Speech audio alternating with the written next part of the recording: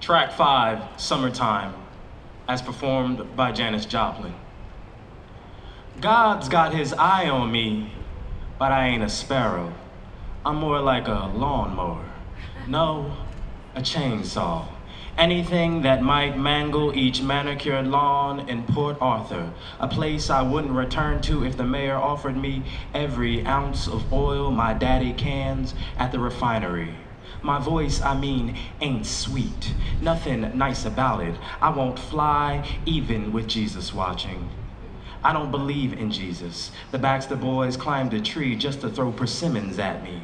The good and perfect gifts from above hit like lightning, leave bruises. So I lied. I believe, but I don't think God likes me. The girls in the locker room slapped dirty pads across my face. They called me bitch, but I never bit back. I ain't a dog. Chainsaw, I say. My voice hacks at you. I bet I tear my throat. I try so hard to sound jagged. I get high and say one thing so many times, like Willie Baker, who worked across the street. I saw some kids whip him with a belt while he repeated, please. School out, summertime, and the living last. Mama said I should be thankful that the town's worse to coloreds than they are to me, but I'd grow up out of my acne. God must love Willie Baker. All that leather and still a please. That sounds like music. See, I wouldn't know a sparrow from a mockingbird. The band plays, I just belt out, please. This tune ain't half the blues. I should be thankful I get high and moan like a lawnmower so nobody notices I'm such an ugly girl. I'm such an ugly girl. I try to sing like a man boys call boy. I turn my face to God. I pray, I wish I could pour oil on everything green in Port Arthur. And that's by the poet Jericho Brown. Jericho Brown is not my poem, Jericho's. Amazing poet. Check out his book, please. And the last poem I'll read is actually a Robert Hass poem um, called Between the Wars. When I ran, it rained.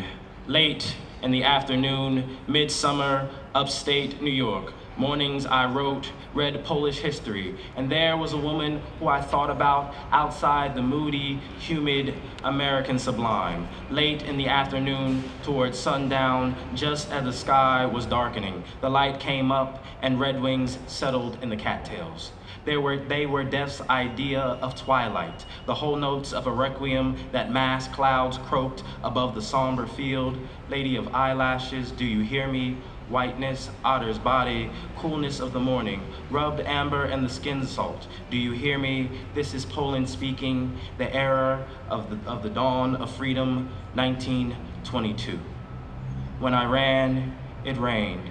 The blackbirds settled their clannish squabble in the reeds, and light came up first darkening, then light, and then pure fire. Where does it come from? Out of the impure shining that rises from the soaked odor of the grass, the levitating congregational, meadow light at twilight light that darkens the heavy-headed blossoms of wild carrot. Out of that, out of nothing, it boils up, pools on the horizons, fissures up, igniting the undersides of clouds, pink flame, red flame, vermilion, purple, deeper purple, dark. You could wring the sourness of the sumac from the air, the fescue sweetness from the grass, the slightly maniacal cicadas tuning up to tear the fabric of the silence into tatters, so that night, if it wants to, comes as a beggar to the door, at which, if you do not offer milk and barley to the main figure of the god, your well will foul, your crops will wither in the fields. In the eastern marches, children know the story that the aspen quivers because it failed to hide the virgin and the child when Herod's hunters were abroad. Think, night is the god dressed as the beggar drinking the sweet milk, gray beard, thin shanks, the look in the eyes, idiot, unbearable, the wizened mouth agape, like an infant that has cried and sucked and cried and paused to catch its breath. The pink nubbin of the nipple glistens. I'll suckle at that breast, the one in the song of the muttering illumination of the fields before the sun goes down, before the black train crosses the frontier from Prussia into Poland in the age of the dawn of freedom. 50 freight cars from America full of medicine and the latest miracle, canned food.